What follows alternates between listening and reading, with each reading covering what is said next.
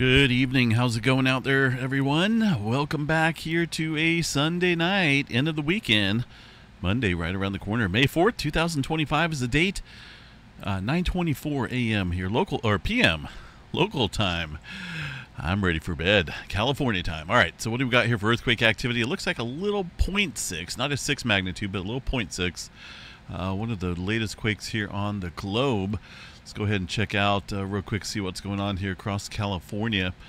Uh, definitely a handful of earthquakes earlier today throughout the area of Southern California. Uh, as far as anything above 2.5, looks like a couple earthquakes down there in the Baja California region, three pointer and a 2.6. Uh, aside from that, a couple smaller earthquakes here in the last hour up and down the uh, area. Nothing big. I am noticing a little swarming going on here near the Yorba Linda region. That is, uh, well, around the greater Los Angeles area in general. Not 100% certain which fault system that earthquake activity is striking on, but uh, got a, a little swarm, some ones, and even a two pointer in there. Continue to keep an eye, of course, on the Southern California region up here in the Garlock Fault Shear Zone. Got about 12 earthquakes in the last 24 hours, a bunch of ones. Nothing big, but it's been a spot here of elevated earthquake activity for, you know, for at least I think the last several weeks here. Just got another earthquake notification on my phone. Ooh, 6.0 earthquake coming in. so let's go see that. Looks like it's in the Southeast Pacific Rise. Uh, way down here. 6.0. Uh, just off the, uh, well off the Chile coast. 6.2 miles deep. Uh, with a lot of stuff that's been going on here recently, including that larger earthquake activity south of Argentina, well off the tip of South America. Uh, got to watch the Peru-Chile Trench. We got a lot going on here around this area, including that six pointer just right now. Um, looks like that Chile station right there in South America is picking up that earthquake quite nicely. Most of the time, these fracture boundaries out here let me show you guys if I can bring this up. Going to be right here. Uh, normally put the strain out here along the Peru-Chile Trench. Notice these arrows. Uh, the earthquake activity happening right here on this fracture boundary uh, between the Antarctica and the Nazca Plate. Uh, double check that. Yep, over here to the west. But things should amplify even further, adding uh, extra strain strain there across the Peru-Chile Trench. Santiago, Chile area been seeing a little bit of swarming activity as well. Things have been on the increase here following well, this movement down south here. You remember the seven pointer. And uh, just a lot of activity uh, around the Peru-Chile Trench. So we got to watch that. Uh, is a major subduction zone that extends, well, all the way up here. Um, there's different names for it, but it's pretty much the same subduction zone uh, right up here off the um, area where this earthquake struck near Colombia. 4.5 from uh, earlier this morning, all the way down here. Uh, subduction zone pretty much ends, I'd say, right about here. But uh, yeah, got some uh, decent activity happening all around it. We should see things amplify here across that region soon, even further than what we're seeing right now, I should say. So six pointer. Um, Let me refresh this, see if they uh, sticking with that magnitude. It has been reviewed, uh, so it has, you know, seismologist has checked it out and kept the uh, 6.0 magnitude level. All right, interesting uh, activity. Uh, back to the west coast here, real quick. Um, yeah, nothing major going on. Definitely got some uptick though in terms of microquake activity. Uh, just off the San Andreas Fault, the creeping segment. Got uh, a couple earthquakes here today near Pinnacles, two pointer and a 1.5. San Francisco area still has yet to move. I don't know what's going on here, but it's been super duper quiet, and that is uh, a little odd. Let me turn this thing to mute. Just getting all the notifications there from the USGS and whatnot as far as that earthquake. Uh, one earthquake up there around the uh, Cascadia subduction zone. It looks like it's almost right at that level uh, for a 2.6 this morning. So let's go check out the tremor map this evening. well, this is going to be throughout the day today. Uh, 54 epicenters. 54 epicenters of tremor. And uh, of course, we got that earthquake here this morning. Um, so continue to watch this region here, the Cascadia. We could obviously see some a partial rupture. It doesn't have to be a complete full rupture of the Cascadia. Uh, in fact, these partial ruptures occur um, quite often in between major intervals of you know, as far as the largest um, earthquake possible on a full rupture. So this uh, partial rupture could produce up to an 8.4. And that is the area I'm kind of watching just due to the amount of earthquake activity around this region recently. A lot of movement across the Gorda Ridges here, uh, Blanco Fracture Zone over the last couple years. Tremor activity has been amplified here across the southern end, resulting in earthquake activity upstream. Uh, so it's fairly well locked uh, there across the southern segment. Um, I think we got a higher possibility of seeing that uh, earthquake down here instead of a full rupture. But you never know. Still uh, keep an eye on that. Nevada region, mostly smaller microquakes. Nothing going on there through Yellowstone, but let's just double check uh, the Yellowstone overview real quick. Yeah, I'm not really not seeing a whole lot of earthquake activity. Some noise out there earlier today in the evening. I don't know if there was thunderstorms or wind, but uh, that's definitely not magma movement. And there's not a whole lot of earthquake activity happening there for now. Uh, the oil fields of Texas still seeing some movement here. This is not aftershock activity, and these are not foreshocks from that, uh, you know, five pointer there from uh, yesterday. It's just it's a swarm of quakes that's been going on since the mid 80s or whenever the oil boom started out here. It just it's happened. That's what goes on in the oil fields. A lot of earthquake activity, and uh, that's those earthquakes can get somewhat large, up in the five magnitude, upper fives. Uh, hopefully that's the last five pointer for a little while, but still seeing some movement out there outside of Pecos.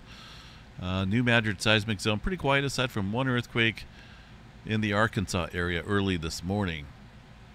Down here across the Puerto Rico Trench, Still got uh, some activity stirring up following that five pointer, 5.6 from late last night.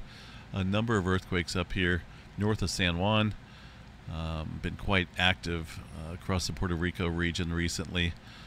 And the general strain out here uh, recently does appear to be working its way northward. Now, what can happen here is that we could see elevated activity along the Peru-Chile Trench uh, but also at the same time, the South American plate here uh, gets pushed further to the north. If you look at this GPS motion um, map, shows the strain moving northward here with the South American plate pretty much crunching the Caribbean plate there.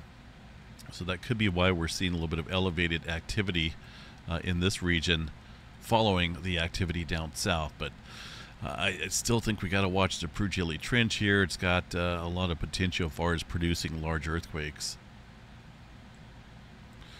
Up into the Alaska region, nothing major going on. A couple ones and twos and some smaller, well, these are fours. It looks like one from last night, one from this morning. Nothing new to report far as larger activity goes. Um, and into the Japan region, a couple fours.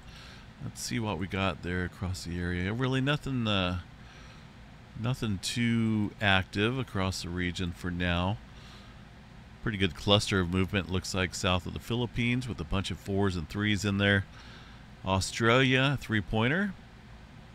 New Zealand down here looks like some threes stirring up. Some deeper activity once again. Uh, looks like that's just a southern end of the North Island region. Looks like a fairly deep earthquake there earlier today, and of course that's going to be associated with the uh, Hikurangi subduction zone.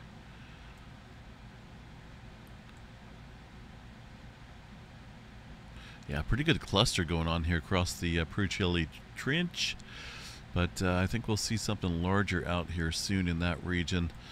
Also got a four-pointer right now coming into the, um, let's see where that's at.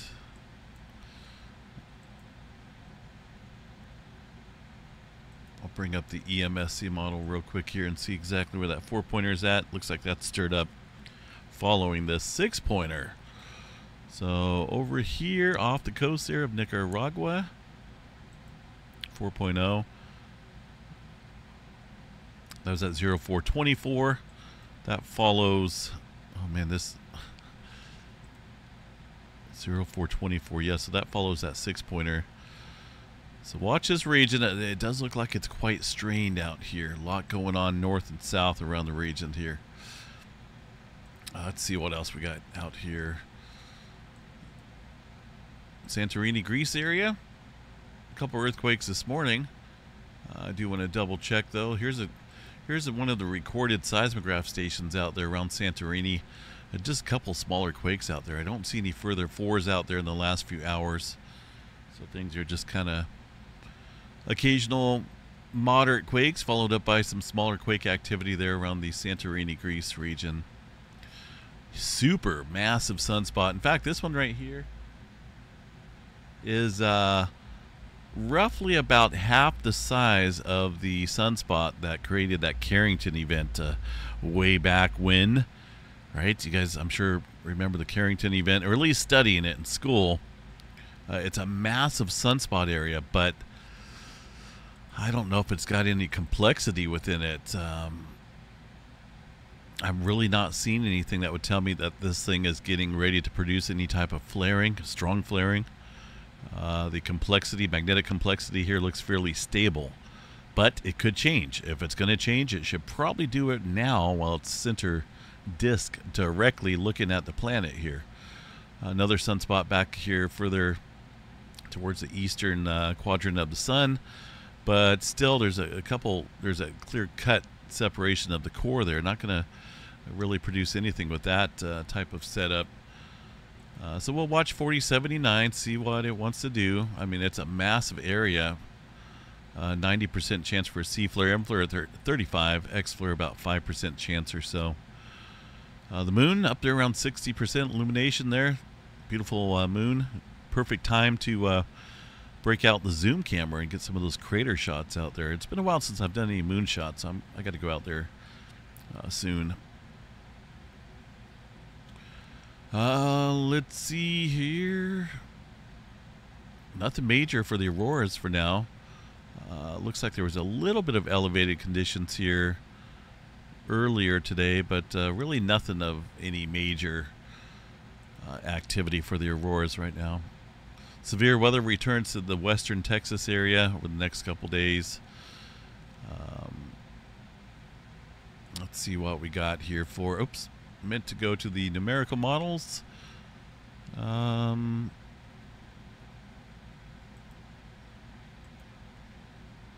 I guess we can check out precipitation here. It's not fully loaded. This only goes out 198 hours.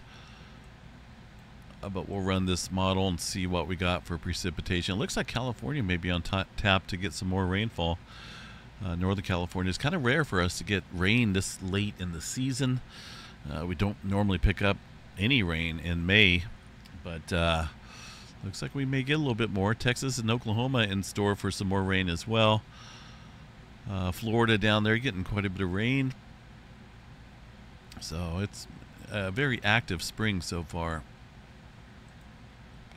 Looking at the long range extended models for severe weather, looks uh, quite active out here over the next few weeks.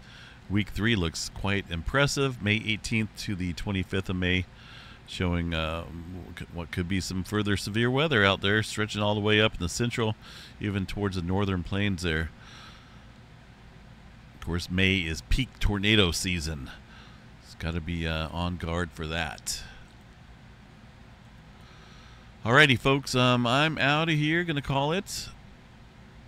I don't know what happened to my Petrolia station. That is offline, but uh, hopefully it comes back. If it doesn't by morning, I'll swap that one out with a, a different station. But uh, for now, have a good night. We'll see you guys back out here for the Monday morning update. Stay safe, everyone.